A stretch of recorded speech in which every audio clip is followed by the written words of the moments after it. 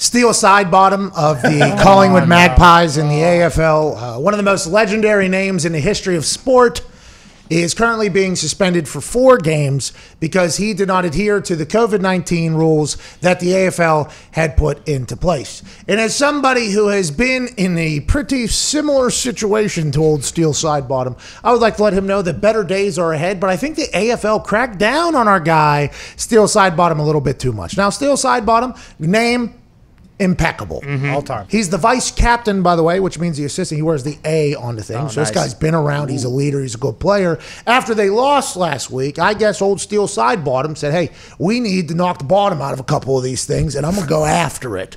So Steele Sidebottom had about a beer fifty, and then he had a shot or a 100 And at one point, witnesses say um, that he was half naked and found on the streets of Australia.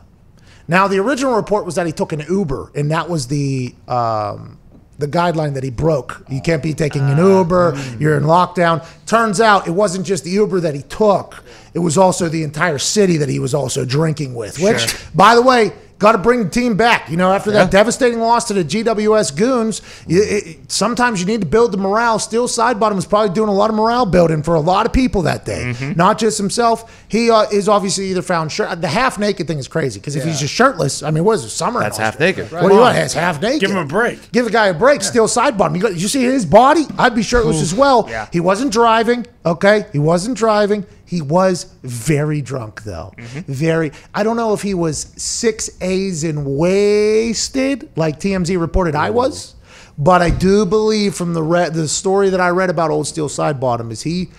He, he, he went ahead and got after it. And uh, he's now suspended four games. We lose our vice captain after losing to a team we shouldn't have lost to. And everything seems to be spiraling out of control for the Collingwood Magpies, even though our guy, Cockzilla, came back in the fourth quarter. It feels like the Collingwood Magpies are potentially in trouble, especially because we got a partying problem in the, in the locker room. Well, I mean, when you have when you have a porn star name, you have to do porn star things. You have to live up to your name, and that's just. I mean, that's his parents' fault if we're being honest. Steele Sidebottom is one of the greatest names I've Yeah. ever heard in my entire he, life. he might get sick. The high today in Collingwood is 51 degrees. Uh, well, I'll tell you what, as somebody who's been shirtless while intoxicated in 28 degree weather, can't even feel it. can't even feel it. Feels pretty good. Feels pretty good. I was just going out and having a couple pints after the game. That's when I learned my immune system was a G, though. I, learned- I, I learned my immune system after that was a G. I'm like, look at this, guys. Because I assumed I'd be sick, incredibly Oh, yeah. sick the next mm-hmm. day, maybe the next week, not be able to. Because who knows if I did fall Yeah, yeah. into the canal? We don't know. It's all alleged. If I did fall into that and got, who knows what's in there? Let alone walking around like 28, 29 degree weather. I mean, it was just. And then the next couple of days, I was like, we're going to learn a lot about this old body, and I was like, to be honest, better than I ever been. I mean, it's, it's quite a sobering feeling when you wake up in jail. So I didn't have a hangover. I had more so like, oh my God, I'm going to be cut from this team. My life is over. And once you get past that feeling, it was like the body not too shabby. I'm sure there's some positive Steele Sidebottom will feel from this. A little chilly there. It feels good about the. Uh, the um, the body and the immune system, but in four weeks when we get Steele Sidebottom back, look out! It's a bad day to be a beer in Australia. Oh yeah. when Steele Sidebottom comes back, it's a bad day to be a beer. We talked about Steele Sidebottom down the AFL getting found shirtless, drunk, uh, and being suspended four games by the AFL. I want to let you know, no judgment from this chair. No judgment. Hey, they say those who live in glass houses shouldn't live in glass houses. You know what they say? Yeah, Yeah. they do Yeah. say that. Don't do it. Don't do it. Like, don't even worry about throwing stones. No, no, Like, let's no. not even talk about throwing No, the no. stones. Leave him outside. Let's just get the hell out of the glass house. Yeah. Okay, because that not a lot of security. No. No. Not a lot of safety, and it, I think it's a constant thing. Like you know, whenever you use a magnifying glass with the sun, Yeah. Mm-hmm. and it just cooks things. Oh, like I think that's what your house is. So I think if you live in a glass house, we should talk about your decision making, mm-hmm. and then you should also not throw stones. So I, I think that's a couple things. And I am in that particular glass house at this particular thing, and I'm gonna put up some blinds. I'm just not gonna say a single thing bad about Steele Side mm-hmm. Bottom. All I'm gonna say is we're gonna miss him for the next four games, and we ah. need our vice captain back as fast as possible. But can't blame him for going out there and just getting absolutely demolished after losing to the GWS Giants, which nobody thought he was going to do, which I didn't think we were going to do. And I bet a hefty amount. And I almost, and I don't even drink anymore, I almost was found shirtless and drunk because of how much I bet on the Collingwood Magpies to beat the hell out of the Nick Maralda GWS Giants goon squad. I mean, the guy was quarantined for what four or five months. He's, he's having a good start to the season on the restart. And he wants to go out and celebrate a little bit. They weren't having a good start, by the way. They lost to the goon squad. yeah, but they mm-hmm. that's their uh, yeah, they won a couple. They won some other ones. Which you know I can They understand. won bad game. They won bad game. They're a good team. Steele's They're a good team. Yeah.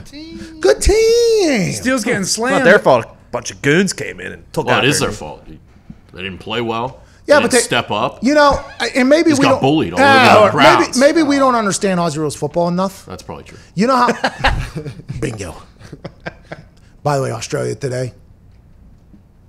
I hope that show doesn't last. How you doing? Keep moving. How you doing? Keep moving. How you doing? Keep it moving. No, they're probably good people, but the way they operate is just insufferable.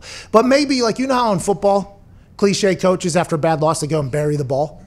Oh yeah. Oh yeah. You know, like after Yeah. a bad loss, they go out. They're like, Tony "Hey, boy, Sparano. come on out here. We're going to bury the ball, and we're never going to talk about this again." Mm-hmm. Maybe in the AFL, when you lose, you just go ahead and bury your memory of the night. Smart. You know, does anybody talk about Steele Sidebottom just trying to move on and be a better vice captain for that Collingwood Magpies?